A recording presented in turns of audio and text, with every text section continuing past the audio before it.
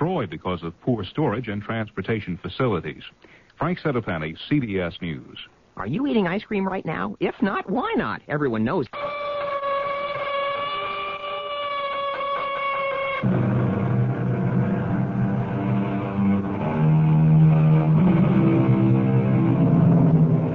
Come in. Welcome. I'm Tammy Grimes. I have a confession to make, which I admit is not the way to raise the curtain on a Mystery Theater presentation, where confessions are usually reserved for the end. All my life, I have been intrigued with the Empress Josephine, not only because she manipulated Napoleon, but because of her addiction to reading the cards. I also love the way she dressed. It is said she actually directed her life according to what the playing cards foretold. So it's with a special interest and delight that I not only get to introduce today's three acts, but to play the part of Josephine myself. Empress, may I join you? I am counting a card for every year of my marriage. Star. Moon. Sun. Ten. Eleven. Twelve. I am up to twelve, Pierre. Josephine, you have been married for 13 years. Thirteen. I don't think thirteen is my lucky number. I don't dare turn over the last card. Oh, my dear girl, what could the cards tell you? That Napoleon and I. I'd rather not know. I want a few more hours of not knowing. The end.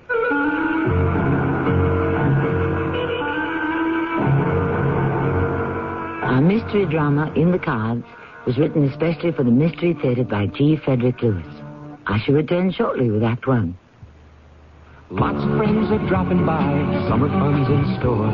With picnic time and camping time, it's country time for sure. Before you all get thirsty, here's a tip that should be made. Get drink that tastes like good old-fashioned lemonade. Country time, country time. Down to your store for plenty of Country Time lemonade flavored drinks. Look for the Country Time coupon in this Sunday's paper. Tastes like good old-fashioned lemonade. Weekdays from the creators of The Young and the Restless. It's Capital, Desire and Passion set behind the marble curtain of power in Washington, D.C. Then follow the lives of people searching for their place in the sun on Guiding Light. And stay tuned for glamour and laughs as Bert Convy brings you celebrity couples and their hilarious secrets on Tattletales. You never know what Tattletales will tell. That's Capital, Guiding Light, and Tattletales. Weekdays on CBS Television. Check your local listings for the time. Hello, control room. Do you know what's next? Yeah, it's another Bob Sellers commercial reply. Oh, man. Is there any way to get out of it? We could write a letter and quit, but you better read the intro. Well, here is a Bob Sellers commercial reply from an interested citizen. Thank you. This reply is to all of the many people who want to know why there is a boat stuck out in front of Bob Sellers' Pontiac on the Grand River at 10 mile, 9 miles after 1 mile. The captain of this boat was afloat on the boat at Bob Sellers' Pontiac when the Grand River became a road again. This raises the question, Bob Sellers will sell Pontiacs that don't cost very much to everyone, even captains who don't have both oars in the water. Ah, did you write that letter? Oh, yeah, come on in. We're all going to sign it. On the Grand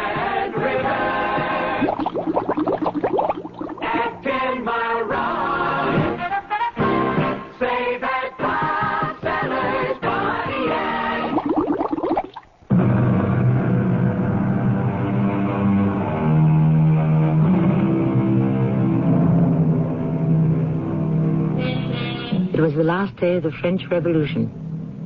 The wife of a viscount sat in a cell reading the cards. Suddenly she went white. On top lay the card of death. The guillotine fell, and with it the head of her husband. Today we might say the cards had nothing to do with it. The lady's husband happened to be in the wrong place at the wrong time. But in 1794, Josephine believed the cards always foretold her fate. Josephine, stop looking in the cards. There's nothing there but numbers and pictures. Teresa, that's not true. On this table is the future, the present, and the past. In the old days, when my husband was still alive, He'd say the future lies in your own hands. Certainly not in the cards. Don't you understand? I need to be doing something. Make my fingers move. Let my thoughts follow the cards. Otherwise, I couldn't stand waiting in this cell here in the Bastille. So far, we have escaped death. But for how long? See? There it is again. The card of death. Who will be next? You or I? Oh, how can you be so calm, Teresa? My dear, it is a tragedy to lose one's husband, as we both have. But we must believe for us there's a tomorrow. Every time I shuffle and cut, there it is. The card of death, black and forbidding. Besides, I don't mourn for Alexandre. You know very well when he was in the cell next to ours, that was the closest we have ever been in years. Yes, I mourn for the death of a fine man who had his faults, but not for a husband. He was no husband to me. Cards or no cards, I know we'll be spared. I do believe it. I believe the good Lord will stop this massacre.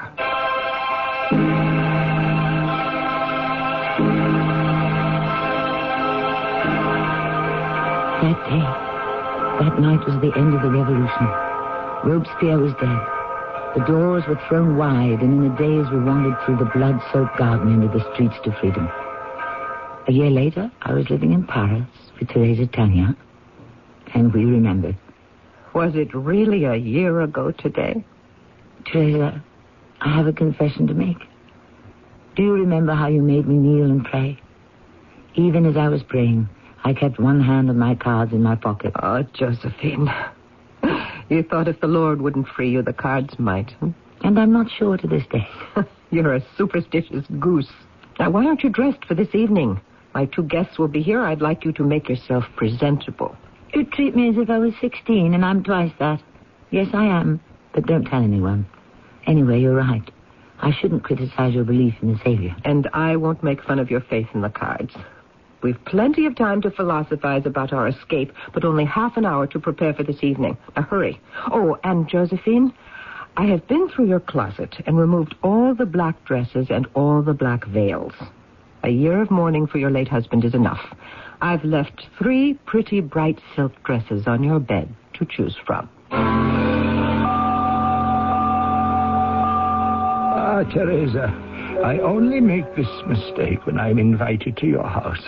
I arrive too early. Pierre, it's all right. I was dressed. Josephine will join us when she's ready.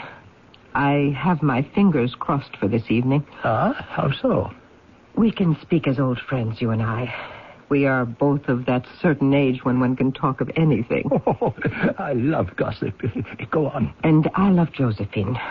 She has been living here for a year, and she's not getting any younger, but I simply cannot find a man who interests her. I have invited every personable single man, every army man, and every diplomat. When the evening is over and I say to her, Josephine, what did you think of so and so? Do you know what she says? What do I say, Teresa? Oh, Josephine, have you been listening to our conversation? Of course.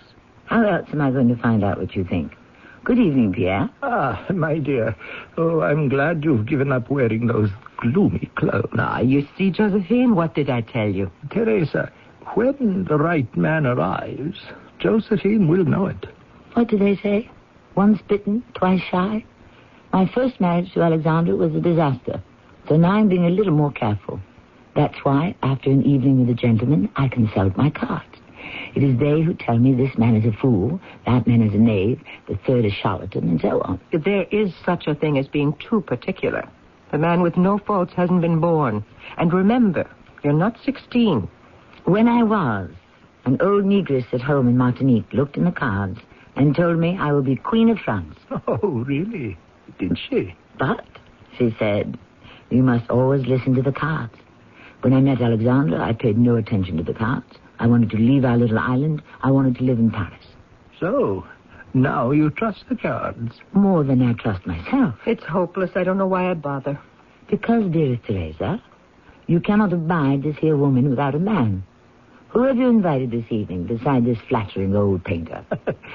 Someday, my child, I will paint your soul, and you will no longer make fun of my age. I have invited a general. His name is Bonaparte. Oh, Lord. Another army man. They're all so exceptionally dull. I sincerely hope to be the exception. Madame Tallien, good of you to invite me to your soiree. Uh, General Bonaparte, I am overcome with confusion. Please don't be, madame. The lady is quite right. We who live by the sword have forgotten how cutting the tongue can be. I like that. That was well said. Uh, General Bonaparte, the Vicomtesse Alexandra Beauharnais. A pleasure. And may I introduce Monsieur Pierre Prudhon? An honor. I have seen your painting of Madame Tallien and also that of Madame Recamier. They are as beautiful as the ladies themselves. I take it all back. The general has the gift of words. And, Monsieur Prudhon, if I ever marry, I shall most certainly hope to commission you to paint the portrait of my wife.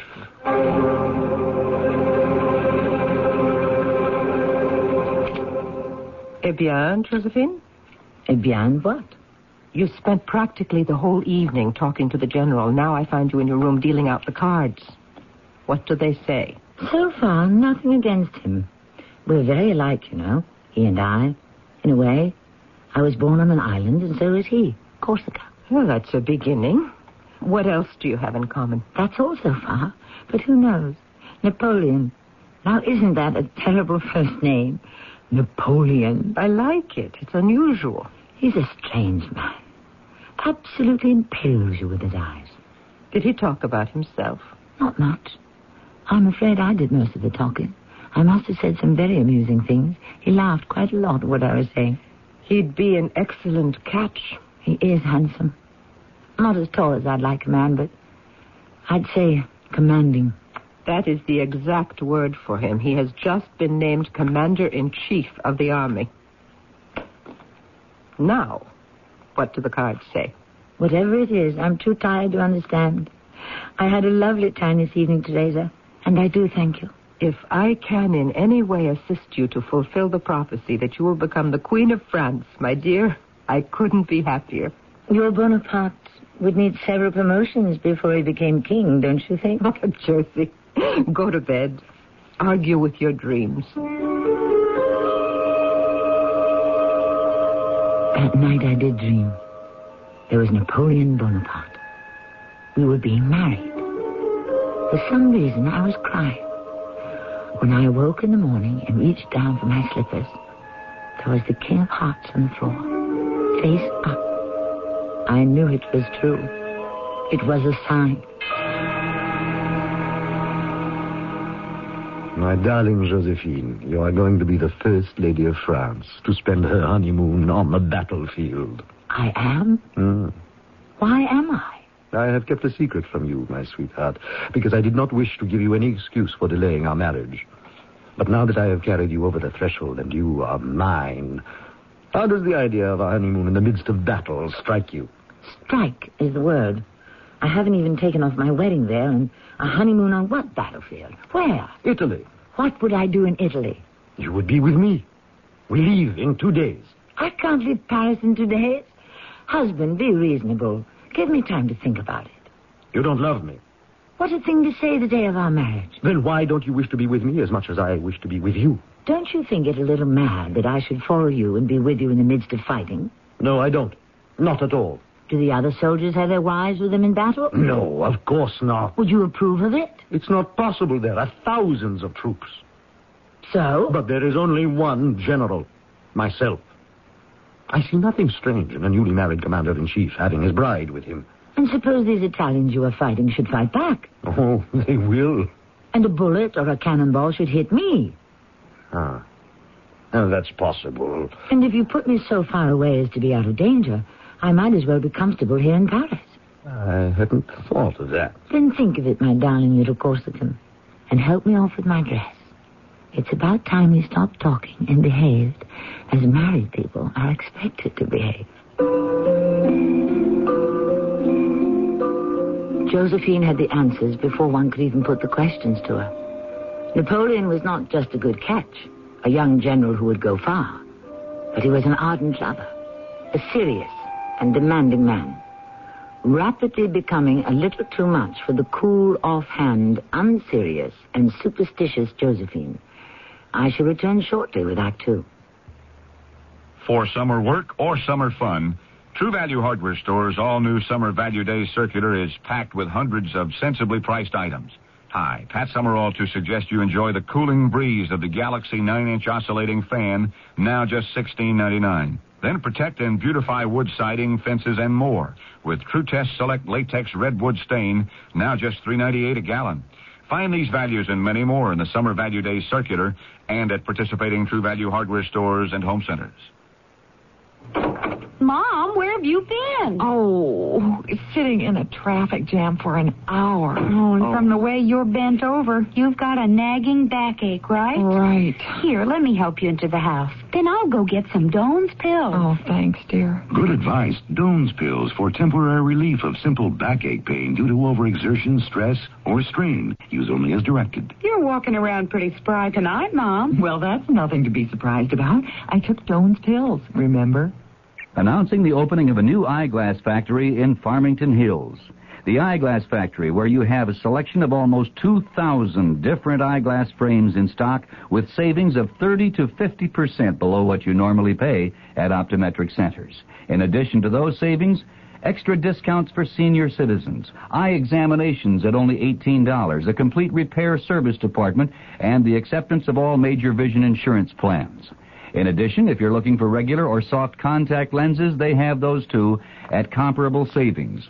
The Eyeglass Factory of Oak Park is on Coolidge, just south of Nine Mile Road. Phone 542-2200. The Eyeglass Factory of Redford on Plymouth Road, halfway between Beech Daly and Inkster. Phone 937-1340. And now the new Eyeglass Factory at 28851 Orchard Lake Road between 12 and 13 Mile Roads. Call 553-3820. Now, three places to save at the Eyeglass Factory.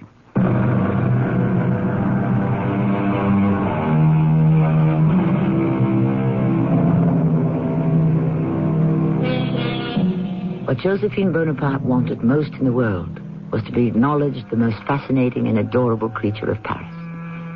France, that had revolted against royalty, now took society to its bosom.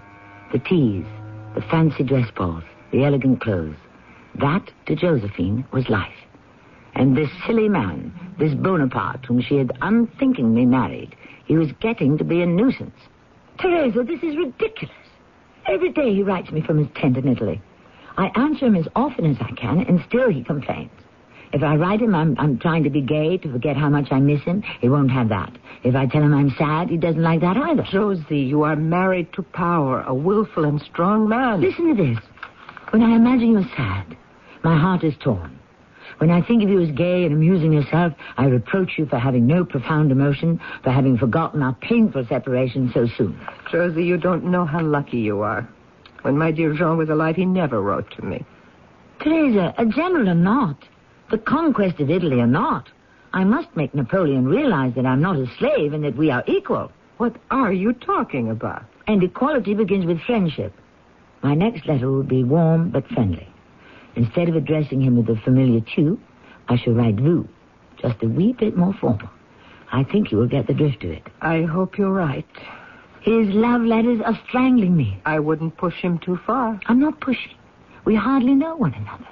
Courtship is not a marriage, and I can tell you this, Teresa. The sooner a man knows his place in a woman's life, the happier they will both be. Joseph! Joseph, come here. Uh, yes, brother. What is this woman doing to me? Four days with no word, and finally, finally, this letter. And do you know how she addresses me? I have no idea. Vous. Vous. The way I would write to a politician or the army supply sergeant. Vous, she says. I've just read this. I'm ashamed to show it to you. It's a letter as cold as friendship. Uh, Napoleon, you are capricious. Uh, yes, yes, you are. You've been saying that Josephine's letters oppressed you, or they were too giddy, or they were too sad, or too happy, and you wished something colder. But not this cold. This gives me the icy chill of death. We were married so quickly, that's the trouble. I had no time but to fall head over heels in love with the woman. And then I had to leave her 48 hours later. Well, when the Italian campaign is over, you'll be back in Paris for as long as you like. Mm, who knows how long the Italians care to go on fighting? It could be months. It could be years. She makes it so difficult for me, Joseph. You have no idea. How can I concentrate on battle formations with that woman on my mind? You'd give up now? Leave Italy? I have no such intention. But she is putting me through torture. Ah, you are doing that to yourself. Life was so simple before I met her. Why doesn't she say what I want her to say in her letters? Because I couldn't. I hated to write letters. He wants an answer to every letter he writes. He oppresses me. Suddenly the fun is taken out of my life. I feel him standing there behind me, breathing down my back. And one card kept coming up every time I shuffled the deck. Justice. Yes, justice. Josie, it's not that bad. If you want your own life and you don't happen to feel affectionate, write to him affectionately anyway. He's there. He's always there. Like a gendarme who comes knocking at your door in the dead of night saying, What are you doing? All I want from Napoleon is justice. Justice? Oh, Josie, you've been consulting the cards again. Why not? When have they failed me? Oh, we're going to the theater tonight. They're doing Moliere. Thank goodness. Two big fat letters on my desk waiting to be answered. He's won six victories in two weeks. What have I been doing? At least I can tell him that I've gone to the theater to see something cultural. He might say Moliere is frivolous. Let him. I'll say I went to improve my mind.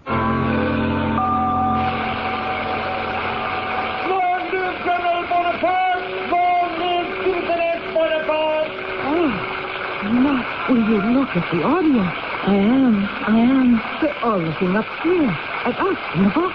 Isn't it lovely? I adore them. Long live Our Lady of the Victory! That's me, Josephine. Will you please stop bowing to them? They'll never stop applauding you. I'm not going to disappoint my audience. Please move back to the rear of the box where you can't be seen. They simply won't go back to their seats and let the play begin.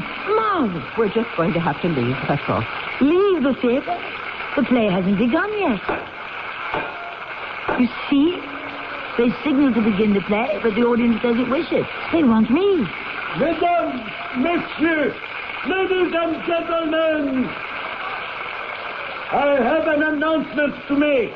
We have just received word the brother of General Bonaparte, our also beloved Joseph Bonaparte, has arrived in Paris with 22 flags captured in the Italian campaign.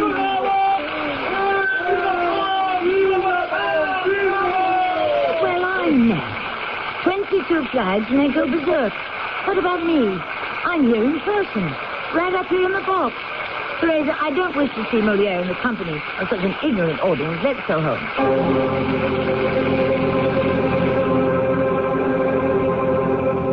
Madame Bonaparte, why we were never introduced before this, I can't imagine. However, I am here now. Napoleon charged me with delivering the captured flags to the Directorate and to urge you to come to Italy. To come to Italy now? Uh, Madame, preferably yesterday or the day before. He realizes it's a long trip, and he wishes you to take it in easy stages. Joseph, I can't. You're saying, I won't, but my brother will not accept I won't for an answer. He is a very jealous man, and your letters have not pleased him. So he had decided you must come to Italy. So don't say, I can't. It's true. Joseph, you don't know me very well. In fact, you don't know me at all. When I say to you I cannot travel to Italy at this time, that is exactly what I mean. The doctors won't permit it. You, you are ill? I wouldn't say ill, but I'm in poor health. Well, I am very sorry to hear that. My brother had no idea. I haven't written him yet. The doctors have only just confirmed it. Oh. Have they said what was wrong? Without being indelicate, I can say I am subject to certain discomforts. Come in, Teresa. You know Joseph Bonaparte? Uh, yes, we have met, but it was long ago. Oh, as I think I remember your dear husband, Madame Tallien. I was just telling Joseph about my condition. You were? Why, it is impossible for me to join Napoleon in Italy. Oh, don't let me interrupt you. Uh, you were telling me of the doctor's opinions? I don't want to make much of it. After all, it happens to all married women at one time or another. I suffer from a certain nausea, which I understand all women suffer from at the beginning of a pregnancy. Uh, Oh, of course, yes, I, I understand. When I return, I shall be delighted to give Napoleon the news. You will have made him supremely happy. Well, ladies, if you will forgive me, I must go. Uh, tomorrow, when I leave Paris, I shall stop by Madame Bonaparte to take from you any special word or letters for the General. Good day. It was a pleasure, indeed a pleasure. Josie, that is a wicked, wicked lie, isn't it? You're not pregnant, are you? What else could I say when he said Napoleon wouldn't take no for an answer? I am in my tent tonight, writing to you. Joseph will have arrived in Paris today. I have asked him to tell you to make the trip by easy stages. Lodgings await you in Mondovi. From there you will go to Nice and Genoa. I await you, my love. I will forgive you all the letters you did not write me when you arrive. Adieu, Josephine. You are, for me, a monster I cannot understand. I love you more each day. So you are going back to Italy today, Joseph? Without you, unfortunately. What must be, must be. Oh, I uh, forgot to mention, I was to tell you to bring your personal maid, your cook, and your coachman. Napoleon has a beautiful coach for you. How thoughtful. I shall tell him you are with child. His child. Uh, may I say to you, if something were to go amiss, and you were not with child, he would be extremely disappointed. So would I. Are you sure you won't reconsider? He loves you very much, and he needs you with him. I wish I could go, Joseph, but I must think of the baby. Weeks passed, months. April became May, and May turned into June. It was spring in Paris, then early summer. There were so many things to do, activities I knew Napoleon wouldn't approve of. So I wrote him less and less.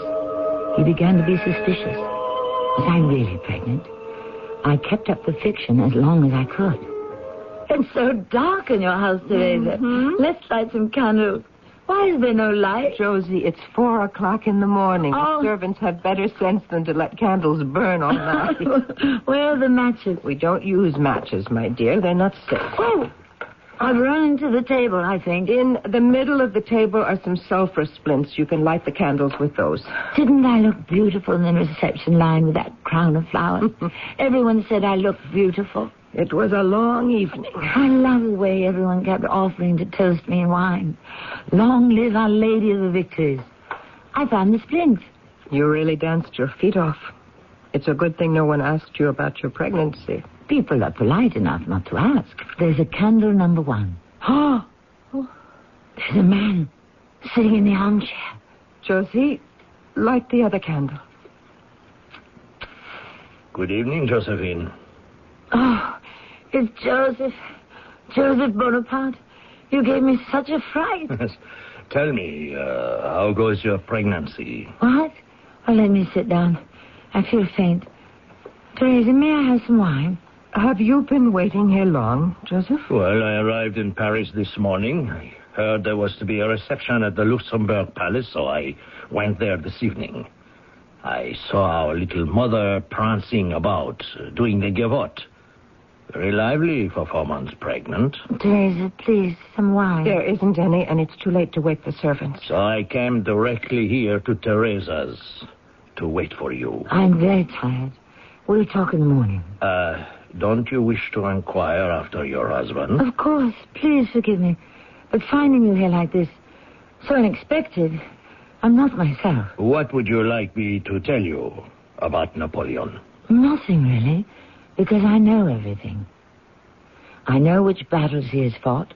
We correspond a great deal. He writes a great deal. I write him all my doings. In your last letter, you made my brother believe you were in some danger. That you had three doctors constantly at your bedside. That is why he sent me to Paris. He is very worried. But I see no evidence of danger or illness. Joseph, you're not going to tell him that. Well, it wouldn't be news to him if I did. Other people write to him about you. But he gave me a letter and asked that I read it to you. My dear one, you have not written to me. You were too ill to write. The little child was staring so hard within you that uh, he hurt you. Uh, madam, if you detect a certain irony in those words, you are right. I have decided I shall no longer permit myself to be mocked. You will be in Turin on the 10th, and on the 12th you will be in Milan, where you will wait for me. Uh, your loving husband, Napoleon. The 10th? That's only days away. Teresa, what will I do? Go to him. Tell him the truth, everything. Beg his forgiveness. I cannot. He doesn't know me. You don't know him, Josephine. My brother told me he will resign his commission and come straight to Paris to be with you. If you don't leave for Italy immediately, Napoleon will be here before the end of the week. Josephine wept with despair, but managed to attend a farewell party the following day. Then, with a dog, her personal maid, and Joseph Bonaparte, she set forth by coach for Italy, and her husband she couldn't fool any longer. I shall return shortly with Act Three. Lots of friends are dropping by, summer fun's in store. With picnic time and camping time, it's country time for sure. Before you all get thirsty, here's a tip that should be made. Get a drink that tastes like good old-fashioned lemonade. Country time, country time. Get down to your store for plenty of Country Time lemonade flavored drinks. Look for the Country Time coupon in this Sunday's paper. Tastes like good old-fashioned lemonade. For over three quarters of a century, Buick has enjoyed a reputation for having fine, luxurious cars. We're very proud of that. It's a reputation that grows every year. 1982 was no exception.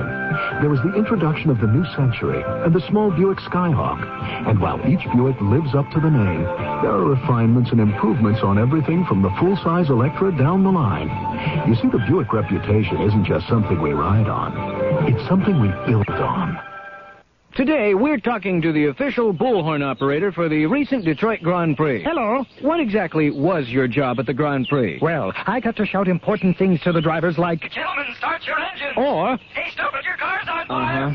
Well, now that the Grand Prix is over, what will you do? I'm using my bullhorn to tell everyone about Harmony House's big Motor City tune-up sale. Now through the 30th, Harmony House is waving the checkered flag on their entire stock of 694, 794, and 894 albums. Pick up any one of them for just 594. Tapes 647. Hey, that's a sale. Yes, and there's comparable savings on higher-priced albums and tapes too. So, tune up with the music that made Detroit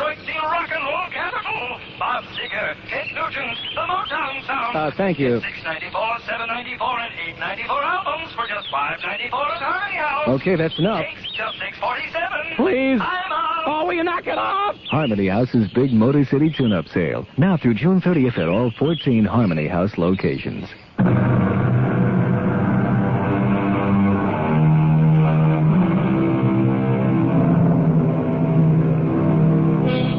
Who was it who wrote about loving not wisely, but too well? Byron? Shelley? It was Shakespeare, yes, describing Othello. The soldier who, as I think of it, was not unlike Napoleon. This is no everyday romance, but the love of a man who did more to change the face of Europe than anyone before or since. For a dozen years, Josephine's sweet talk tantalized and infuriated Napoleon, but gave him no son, no heir. For France, twelve years was too long to wait. The unfortunate fact is, Pierre, Josephine is not able to have a child. That is how the wheel turns. I remember many years ago when they were first married how she used pregnancy as an excuse not to be with him. Oh, is he back from Vienna? I am told so. Ah, well, another victory. Complete over Austria. And Josephine, How is she? I haven't seen her in months. She's in seclusion. Ah, yes. She knows divorce is in the air. That Napoleon must have his line carried on. Well, that's always the trouble with monarchy. When we were a republic, briefly, it didn't matter what family you belonged to. It was the party. But the moment Napoleon crowned himself emperor and Josephine empress, Bonaparte had to be next on the throne. So, you haven't seen her? I feel guilty about that. I'm told she spends more and more time consulting her cards, trying to see into the future. Ah, uh, Napoleon has ordered me to paint Josephine. No. Oh, yes, yes, yes, yes, yes. She knows about it. I'm to meet with her at the Malmaison to get started. I think he wishes the portrait before he speaks to her formally about a divorce. I understand there's a list of 18 marriageable princesses drawn up for consideration as Napoleon's second wife. Oh, really?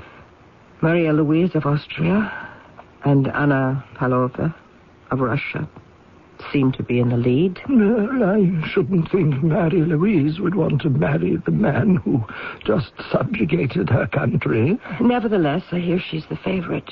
No, Teresa, forgive me. Ah, I used to enjoy gossip, but I just don't anymore.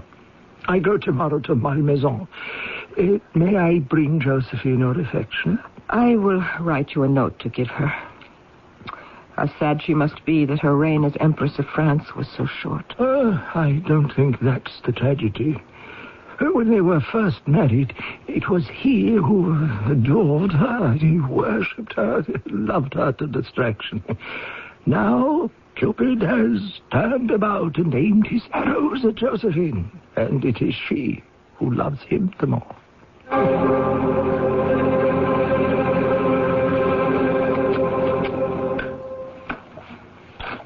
Fool, juggler, empress, emperor, devil, judgment, Yes, Empress, may I join you? wheel, strength, lovers. Pierre, come in. Thank you. I'm counting a card for every year. Star, moon, sun. I'm up to 12 cards, one for each of my 12 married years, Pierre. Yes, but you've been married for 13. What have you heard from my husband? Ah, victory in Vienna. It's true. 13. But I don't dare turn over the last card, even though, you know, I can almost see through the back of it. Oh, uh, Josephine, what, what, what games you play? It's no game. It's a warning of the future. So be it. I am not a coward. I've told a lot of untruths in my day, but I was never a coward. Of these three cards, the first one I will turn over will be either justice, the hanged man, or death. Oh, then, well, what would that mean to you? Death is death. I have seen the card before, and people I've known have died before.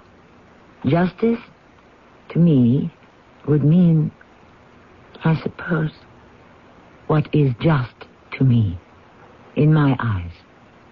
That Napoleon will not insist on a divorce. And the third, the hanged man, that could very well be a hanged woman. Josephine, the former Empress of France. Uh, uh, before you turn anything over, uh, could we agree on something? A time, a place? We certainly can. The painting. I am ready to begin. We will sit by my favorite brook as often as you like. Your Highness, thank you. May I leave? Aren't you going to stay while I turn over the 13th card to see what my 13th year has in store? Yes, I'll stay. The hanged man. Oh, my darling Josephine, how wonderful to see you again. I can't tell you how delighted I was to receive your invitation to Fontainebleau. It was selfish of me, but I'm glad you're here. I saw the portrait Pierre did of you at Malmaison. It's fabulous. I hope Napoleon liked it. You. You haven't seen him then? No. But his handiwork is everywhere, even in this room. But let's not talk about that. Let's talk about the old days. Do you remember when we went to the theatre in Paris to see Molière? And how the audience got up and applauded and cheered? Of course I do. I can see you throwing kisses to them. Long live Our Lady of Victories. Long live Citizeness Bonaparte. She didn't live very long, did she? Thirteen years is not a very long life, is it, Teresa? I am so miserable. Oh, Josephine. I am disgraced. I am being punished. There is no disgrace. The divorce is only a matter of state. France has an emperor, and the emperor must have a son. I know that. I know what Napoleon wishes to avoid. I know all the good reasons why he must have a son. And Marie Louise or Anna, whatever her name is, I can never pronounce those Russian names. They are young enough. They can both give him dozens of boys. But just the same, France or no France, my husband is punishing me. I can't believe that. Napoleon loved you tremendously and will always love you. Let me show you. Do you see this door? Yes. This door connects my apartment. There is a secret private staircase that connects his apartment to mine. We always used it. But it doesn't connect anything anymore. It's been sealed up. Have you asked why? Did you hear what I said? I said it's been sealed up because he doesn't want to have anything to do with me anymore. Not even to look at me.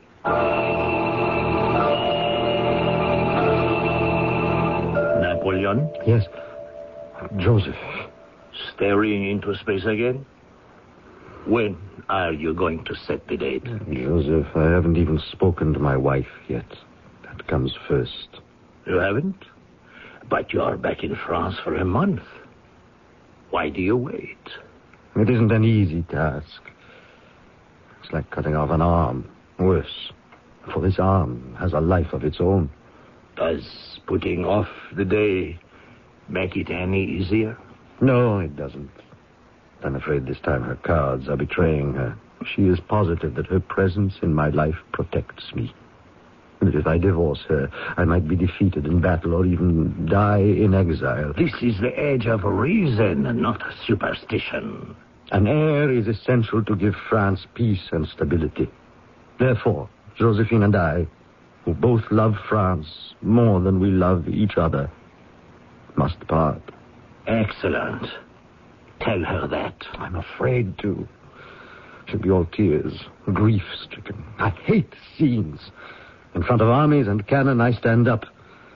But in front of Josephine, I tremble. You see, my darling wife. Uh, Will you have I- some more coffee? uh, yes. Uh, no, no, no, no, thank you. Not now. We must regard this I have act- so looked forward to the two of us having a little dinner alone, just like the old days.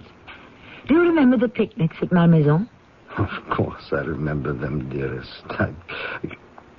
Josephine, can you. Will you please let me say what I must? By all means. I'll be quiet as a mouse. Our divorce, what we are about to do, I regard as a kind of sacrifice. And you, my darling Josephine. No, don't. Please don't. I can't listen to this. I know it will happen to me. Disgrace, all honors taken away, all my friends. Who will look at me? Who will care about an ex-empress? Oh, but that is not so. You may say what you like, but the cards have told me. In the end, I will have to leave France. Josephine, listen to me. You will always be the Empress, Josephine. You will have Malmaison for yourself, an entire court for yourself. You will always be held in high regard by all of France. I promise you I shall see to that. That every Frenchman will hold you up as a noble victim to the needs of our country, to whom the greatest honors will always be shown. Who is it to be? What do you mean? Who? You know what I mean. Anna, the Russian, or Marie Louise, the Austrian. Uh, You won't tell anyone. It's not official, and I know I'll have problems with Vienna. So it is Marie Louise. That's what I'm advised. I hear she's a big fat cow. A blonde. No. You used to like them slender and dark haired. I still do, my darling. Very well. I'll consent. The divorce is yours. I know you'll be generous. You'll consent. You'll consent. Don't act as though you were doing me a favor. The divorce is the Emperor's edict, not a favor you are bestowing. I hoped you'd be a gentleman to the end and let me have the last word. I shall. I shall. In two weeks, we'll gather in the throne room at the Tuileries, and we shall both make our private decision public. With the permission of my august and dear husband, I declare that having having no hope of bearing children for the interests of France, I am glad to give him the greatest proof of my attachment and devotion. I I'm I'm sorry. I I can't read any more of what I wish to say to you. Joseph, pick up the page she dropped and read it. I believe that by consenting to the dissolution of a marriage which deprives France of one day being governed by the descendants raised up by Providence to wipe out the evils of a terrible revolution. Joseph, let me. I don't need to read what I've prepared. I can say it. Straight out. The disillusion of my marriage can never change the feelings of my heart. In me, the Emperor will always have his best friend. Thirteen years. It's not very long, is it? But it was my whole lifetime. I know how much this act, demanded by politics, has wounded him. But we, we both glory in the sacrifice we make for the good of the country.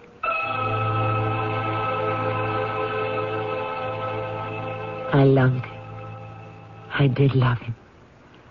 But something in me always prevented me from showing my love to him the way he wanted to see it. The following day, the dissolution of our marriage was proclaimed to the Senate. I retired to my beautiful Malmaison, but I was never happy there again. Too many memories.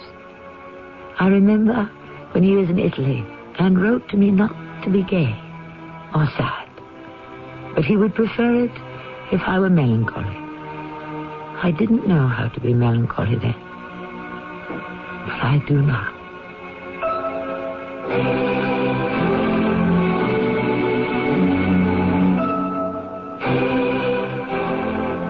Josephine lived to see Napoleon retreat from Moscow.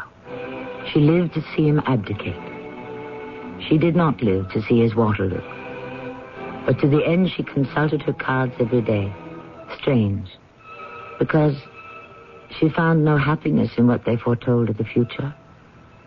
Her contentment lay only in remembering the past. I shall return shortly. If you've been putting money aside, you can almost see inflation eroding its buying power. Unless it's earning high interest rates or substantial dividends. And right now, thanks to Dreyfus Liquid Assets, even a small investment can profit from the currently high interest rates with complete cash availability. Think of your Dreyfus Liquid Assets account as an income-earning investment with free checking privileges. Privileges that allow you to pay bills and still earn money till the checks clear. You can even withdraw all or part of your cash by phone. There's never a penalty, never a sales or withdrawal charge.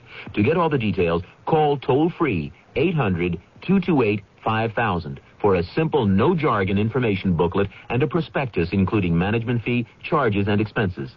Find out how Dreyfus Liquid Assets helps you get the lion's share from today's high interest rates.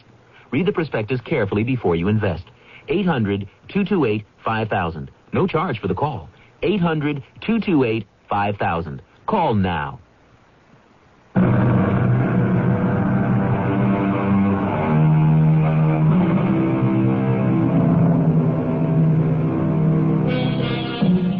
Graceful and extraordinary creature, Josephine, was strong and independent, and her bittersweet love affair with her husband is proof that Disraeli was right when he said, Man is not a creature of circumstances.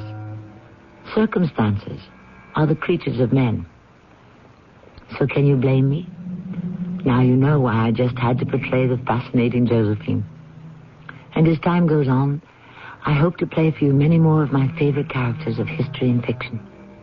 Our cast included Teri Keane, Louis Turenne, and Earl Hammond. The entire production was under the direction of Himan Brown. Have a pencil ready for an offer from the Journal.